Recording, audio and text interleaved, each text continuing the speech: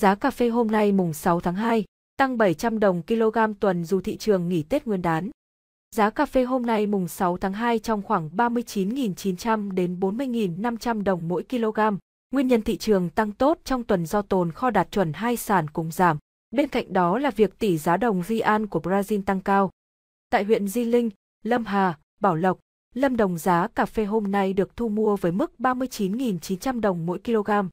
Tại huyện Cư Mờ Ga, Đắk Lắk giá cà phê hôm nay ở mức 40.500 đồng mỗi kg. Tại huyện Yê Hát Leo, Đắk Lắk, Buôn Hồ, Đắk Lắk giá cà phê hôm nay được thu mua cùng mức 40.400 đồng mỗi kg. Tương tự tại tỉnh Đà Nông, giá cà phê hôm nay thu mua ở mức 40.400 đồng mỗi kg tại Gia Nghĩa và 40.300 đồng mỗi kg ở Đà Giờ Lấp. Tại tỉnh Gia Lai, giá cà phê hôm nay ở mức 40.400 đồng mỗi kg. Chư Prong, ở Pleiku và Lager dài cùng giá 40.300 đồng mỗi kg. Còn giá cà phê hôm nay tại tỉnh Con Tum được thu mua với mức 40.400 đồng mỗi kg. Sáng nay, giá cà phê tại các vùng trồng trọng điểm giữ ổn định so với cùng thời điểm hôm qua. Kết thúc phiên giao dịch gần nhất, giá cà phê Robusta tại London giao tháng 3 năm 2022 giảm 5 USD mỗi tấn ở mức 2.229 USD mỗi tấn. Giao tháng 5 năm 2022 giảm 7 USD mỗi tấn ở mức 2.213 USD mỗi tấn. Trong khi đó trên sàn New York, giá cà phê Arabica giao tháng 3 năm 2022 giảm 2,05 cent LB ở mức 241,85 cent LB. Giao tháng 5 năm 2022 giảm 2,05 cent LB ở mức 242,45 cent LB. Tổng kết tuần, giá cà phê Robusta tại London giao tháng 3 năm 2022 tăng 36 USD mỗi tấn. Giá cà phê Arabica giao tháng 3 năm 2022 tăng 5,95 CLB. Cùng với đó, giá cà phê trong nước tăng thêm 700 đồng mỗi kg dù đang trong kỳ nghỉ Tết Nguyên đán 2022. Trước đó, kết thúc tháng đầu tiên năm 2022, giá Robusta đã mất 11,7%, trong khi Arabica tăng 4,31%. Nguyên nhân thị trường tăng tốt trong tuần do tồn kho đạt chuẩn hai sàn cùng giảm. Bên cạnh đó là việc tỷ giá đồng Rian của Brazil tăng cao, DXY giảm mạnh hỗ trợ cà phê Arabica trên sàn New York. Trên sàn London, cà phê Robusta tiếp tục tăng nhờ kỳ nghỉ Tết Nguyên đán của Việt Nam kéo dài. Cục xuất nhập khẩu nhận định, năm 2022 Việt Nam còn nhiều dư địa để tăng xuất khẩu cà phê. Có nhiều yếu tố thúc đẩy thị trường cà phê phát triển như gia tăng dân số tiêu thụ cà phê ngoài gia đình, đô thị hóa nhanh chóng, tăng doanh số bán lẻ thương mại điện tử, tăng thu nhập thế hệ Z, tăng sở thích cà phê hòa tan, nhu cầu ngày càng tăng đối với cà phê đặc sản và tăng tiêu thụ cà phê nhân ở các nền kinh tế mới nổi dự kiến sẽ thúc đẩy thị trường.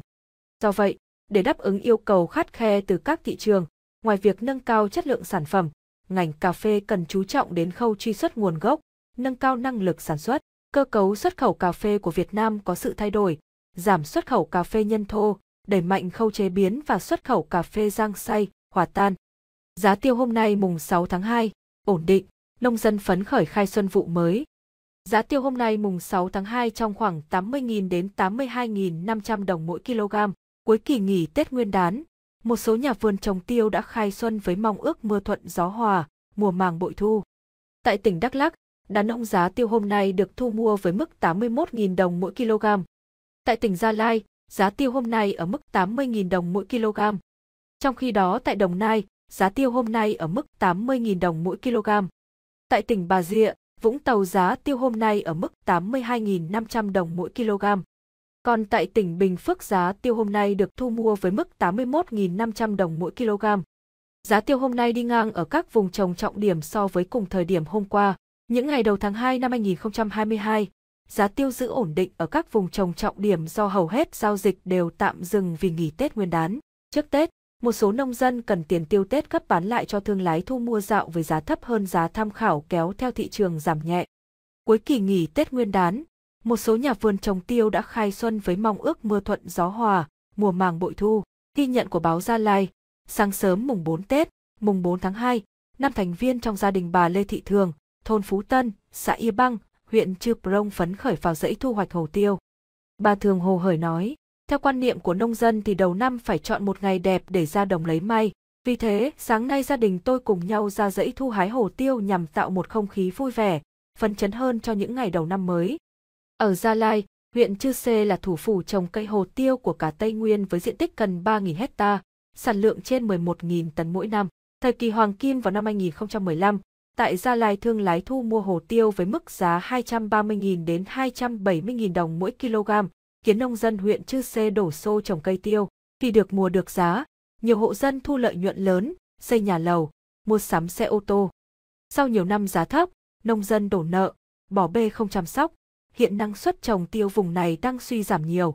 Ông Nguyễn Hữu Tị, Chủ tịch Hội Nông dân huyện Chư Sê cho hay, hầu hết diện tích trồng hồ tiêu bị chết được bà con xử lý khử trùng, cải tạo đúng quy trình kỹ thuật và tái sản xuất, chuyển đổi cây trồng hợp lý, hiệu quả.